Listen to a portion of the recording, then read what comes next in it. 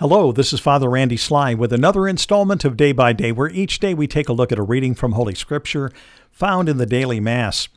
And today is Palm Sunday of the Passion of the Lord. This is the beginning of Holy Week and a wonderful day in the life of the church. And today is actually the combination of two days from the old calendar. In the old calendar, we had uh, Passion Sunday, which was the week before Palm Sunday. And then we had Palm Sunday, which led into Holy Week.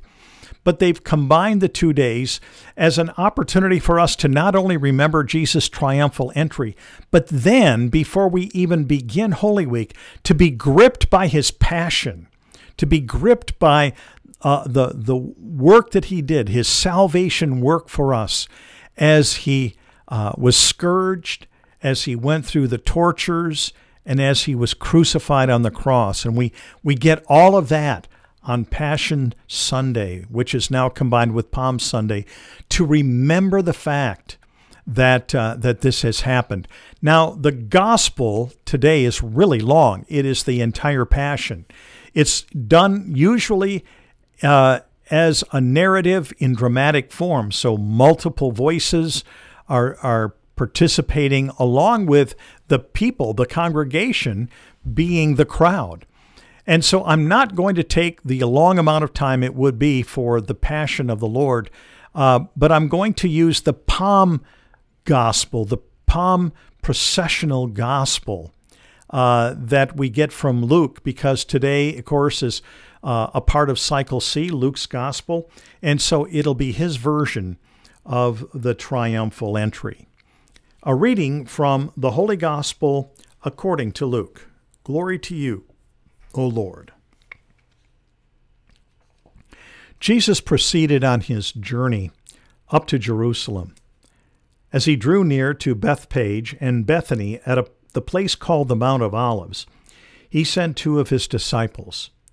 He said, Go into the village opposite you, and as you enter it, you will find a colt tethered on which no one has ever sat untie it, and bring it here. And if anyone should ask you, Why are you untying it? you will answer, The Master has need of it. So those who had been sent went off and found everything just as he had told them. And as they were untying the colt, its owners said to them, Why are you untying this colt? They answered, The Master has need of it. So they brought it to Jesus, threw their cloaks over the colt, and helped Jesus to mount. As he rode along, the people were spreading their cloaks on the road, and now as he approached the slope of the Mount of Olives, the whole multitude of his disciples began to praise God aloud with joy for all the mighty deeds they had seen. They proclaimed, Blessed is the King who comes in the name of the Lord peace in heaven and glory in the highest. So the Pharisees and the crowd said to him, Teacher, rebuke your disciples. He said in reply, I tell you, if they keep silent, the, the stones will cry out. The Gospel of the Lord. Praise to you, Lord Jesus Christ. Well, in our Gospel, we have Jesus approaching Jerusalem for his final Passover, the time of his passion, his death, and ultimately his resurrection. And he has already been to Bethany, where he, of course, previously had raised Lazarus from the dead. And he was back and had dinner with Mary, Martha, and Lazarus. And this was at the time where there was the anointing of his feet.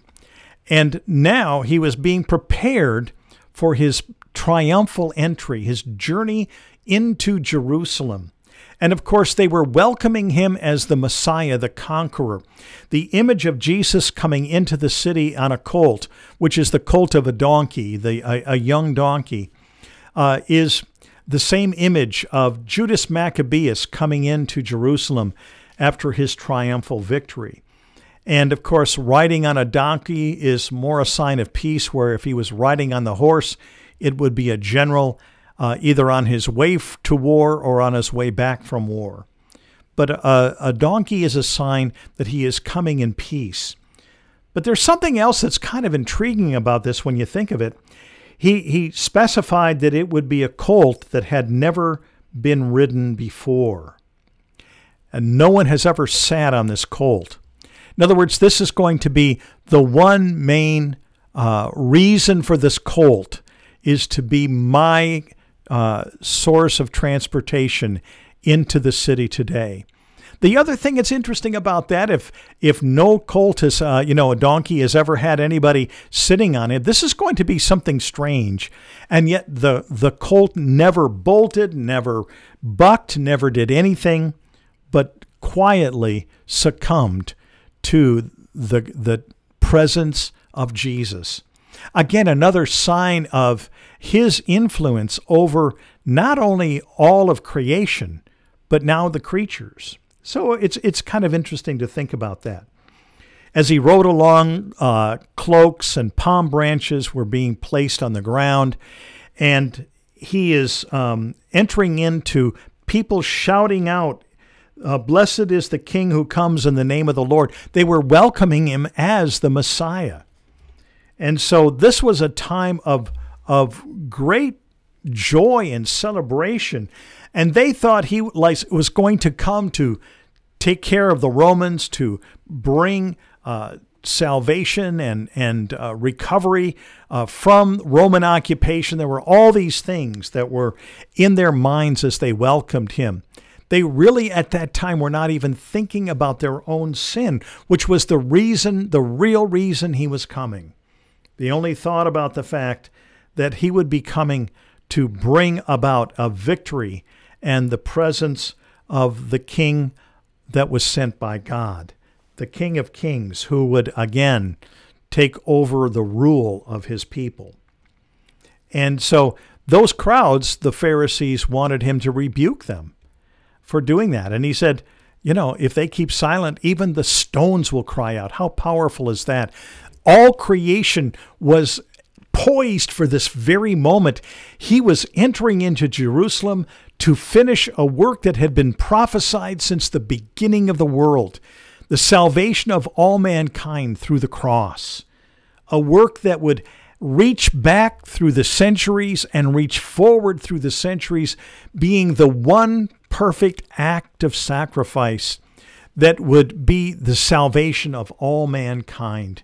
How powerful it is to think about the fact that it all was about to happen this was the start button for his passion, his death, and his resurrection. And so he's coming into the city, and they're rejoicing at his coming.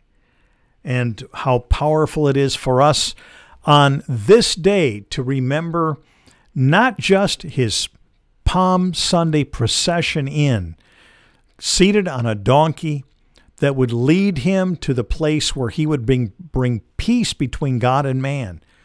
That, that uh, the place that sin played in standing between mankind and God would be dealt with forever in such a powerful way is about to take place.